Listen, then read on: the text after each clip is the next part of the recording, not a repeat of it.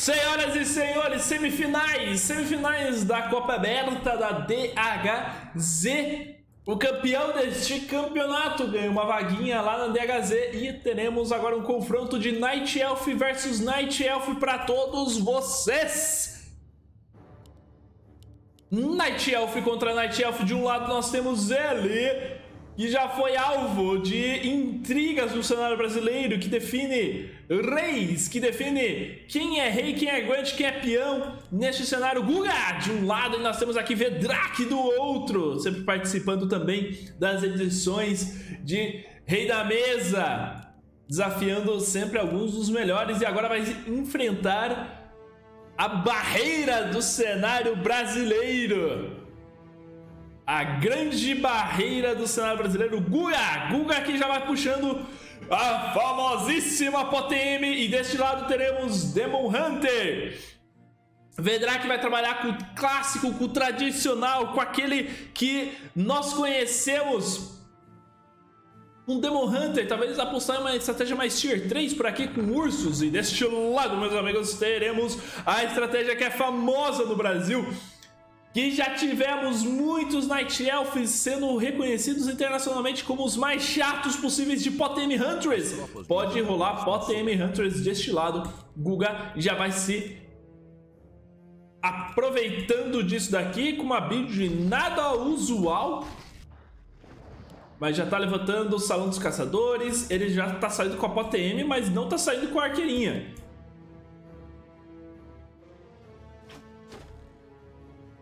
Já sai de aura. Vedrak já viu qual que é o bonecão do adversário. Já se cancela ali, manda o dispel. Qual vai ser sua adaptação, sua adaptation por parte daqui? Vedrak já dropa uma diadema. Famosíssima Circlet. Guga tá um pouquinho demorado para fazer a contestação. Mas a segunda Ancient of War tá chegando.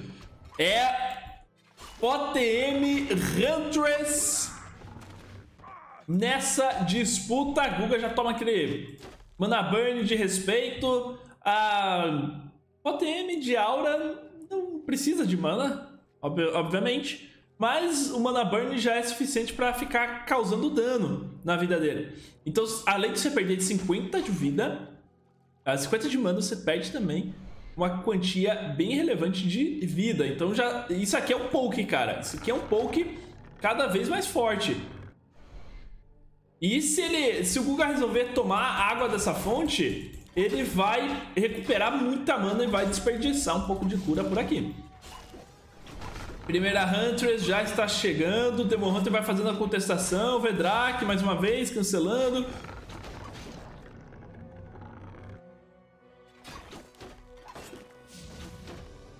Mais uma vez cancelando. Mais uma na Burn. Demon Hunter sendo... Ah, o inferno na Terra, velho. O inferno na Terra nessa contestação. Tá 25 barra 30. Guga não tá levantando.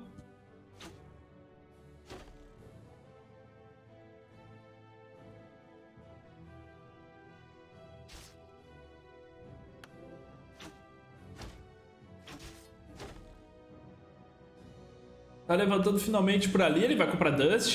Revela, revela meu amigo, revela o meu amigo que tá aqui no meio. Vai só batendo em retirada e volto por aqui. O FPX eu acho que perguntou por que, a gente tá assistindo nos gráficos clássicos. Eu acho que o pessoal do chat já respondi, é, já respondeu, mas o grande detalhe é que os gráficos Reforged estão causando desync, estão causando problemas e a Blizzard continua investigando quais são os problemas. Então, às vezes, se a gente está assistindo com o gráfico Reforged, pode rolar desconnect aleatório de algum do player e isso não é nada bom para um cenário competitivo. Então é por isso que a gente está optando por fazer o campeonato, todos os campeonatos do Brasil são em gráficos clássicos até que se prove estável jogar com os gráficos e transmitir com os gráficos do Reforged.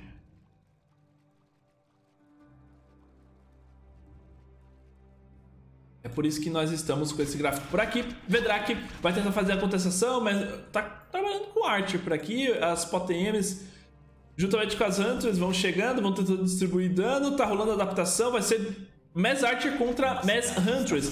Dá pra você contestar Mass Hunters com Mass Archer, mas vai ser daquele jeito. Daquele jeito, precisa micar bastante, porque essas arqueirinhas vão apanhando bastante.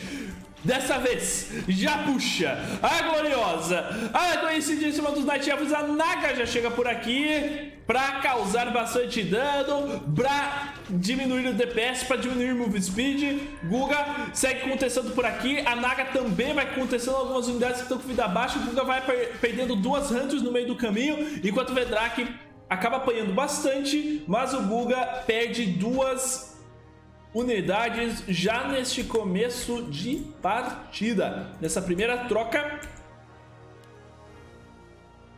Nesta primeira troca, sinto que o Vedrak ainda está em vantagem. Já vai fazendo upgrade, aumentando o alcance das arqueirinhas para elas poderem atacar e ficarem um pouquinho mais safe contra as Hunters, mas o Guga vem chegando, porque Bottom Hunters é uma estratégia de mid-game muito forte e o Vedrak vai tentando forçar uma adaptação por aqui para se segurar contra um mess tão poderoso quanto é esta estratégia. As tropas de um jogador estão sob ataque. Uma, duas, três, quatro, cinco, seis, sete Sete Hunters contra poucas arqueiras. Guga já vai fazendo a movimentação.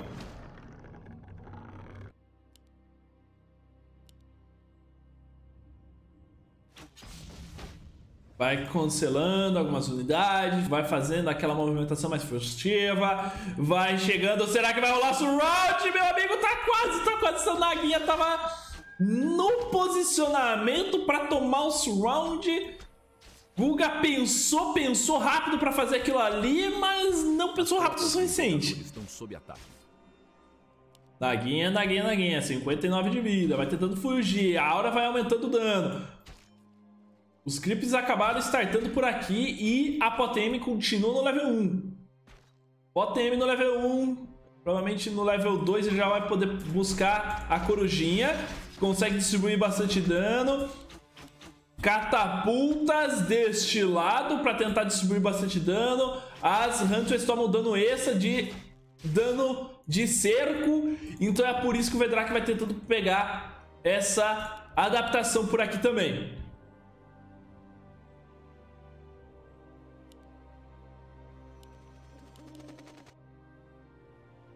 Daí as corujinhas das Hunters revelando unidades é um upgrade que ela pode fazer no, na Ancient of War. Um o Guga vai fazendo agora uma semi-adaptação, tenta buscar aí as arqueirinhas. Ele não tá farmando muito bem, continua no level 1. E deste lado o Edrak segue no farm, segue no farm.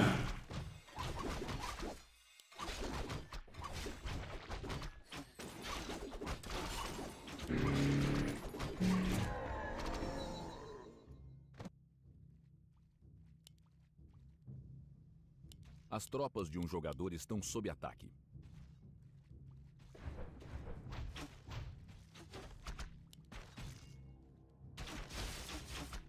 Quarenta de supply por parte do Vedrak, 48 por parte do Guga. Level 2 finalmente nas mãos dessa POTM. Deste lado está no level 3, está no level 2.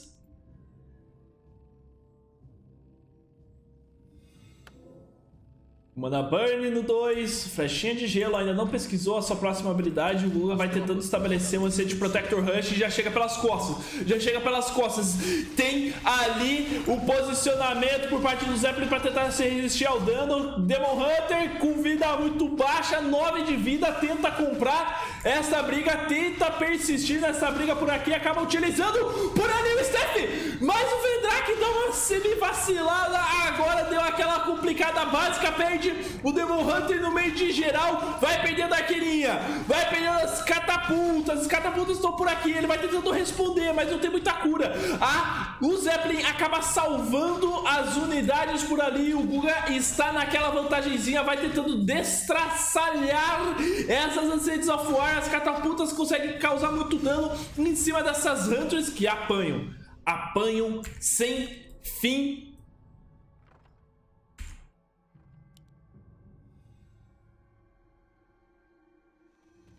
Mas o Guga tá numa situação muito boa. Acho que vai dar uma passageira por aqui para comprar o Scroll. É isso, meu amigo. Ele quer o Scroll, ele quer o Scroll. O Scroll para recuperar a vida de geral aqui no meio.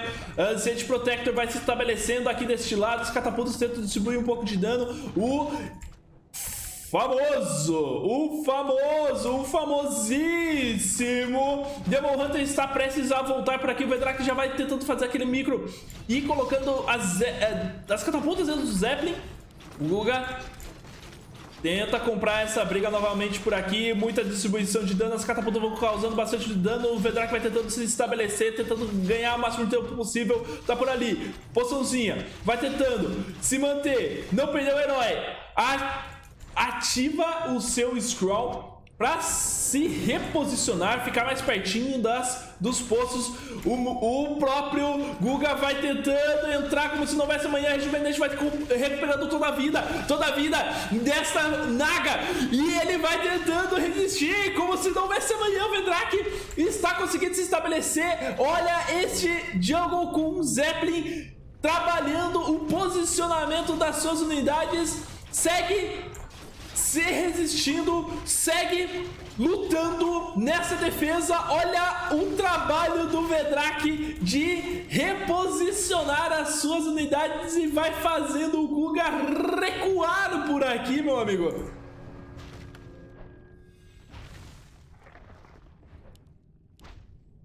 Vedrak, em situação complicada, mas ele continua lutando, meu amigo. Ali a catapulta acaba sendo eliminada, é uma perda bem considerável para o Vedrak.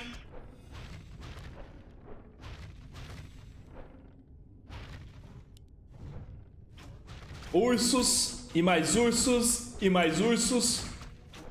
Guga vai cercando a base com a ajuda do Ancient Protector. Mais arqueirinhas vão chegando por aqui. Adaptação por parte do Guga, porque ele não toma dano de ataque perfurante e de ataque de catapulta. Então, essa é uma ligeira adaptação por parte do Guga que vai tentando cercar a base do Vedrak como se não houvesse amanhã. O Vedrak vai tentando resistir, vai tentando puxar, ganhar tempo de pegar algumas unidades a mais. Galera desse chat, o Hang mandou, esse jogo tá muito bom, tá muito bom, espero que vocês estejam gostando aqui em pleno domingão, a gente segue trazendo mais partidas entre a galera amadora e iniciante, meus amigos. Iniciante, level 4 já foi treinado pelo Google. Os ursos vão conseguindo aos poucos entrar aqui nessa linha de frente. O Vedrak já salva com a ajuda do Steph. Segue buscando essa briga. Vedrak, vai buscando. Vai buscando cada uma das unidades. Agora o foco vai trocando em cima dos ursos. Consegue eliminar ali nas costas a catapulta. Vedrak consegue eliminar algumas unidades por ali. O Demon Hunter vai tentando fazer a frontilada como se não houvesse amanhã. Vedrak também com vários os ursos, agora o foco tá sendo em cima do Lancete Protector que vai tentando se distribuir o máximo de dano possível contra o Vedrak e esse Demon Hunter quer a briga, ele quer a briga, ele tá ali no meio, como se não houvesse amanhã, dá uma batida de recuado, enquanto o Guga vai perdendo várias unidades, mas ele vai contestando, vários ursos vão caindo e ele vai tentando buscar mais um surround aqui no meio, não consegue um full surround, agora ele consegue, vai tentando disputar contra a vida da Naga, a Naga tá recebendo rejuvenescimento por aqui e pouco a pouco a estratégia do Guga está desfalecendo, está caindo, está está perdendo o fôlego. Tanto o Guga com essa estratégia quanto eu depois de narrar como se não houvesse amanhã, velho.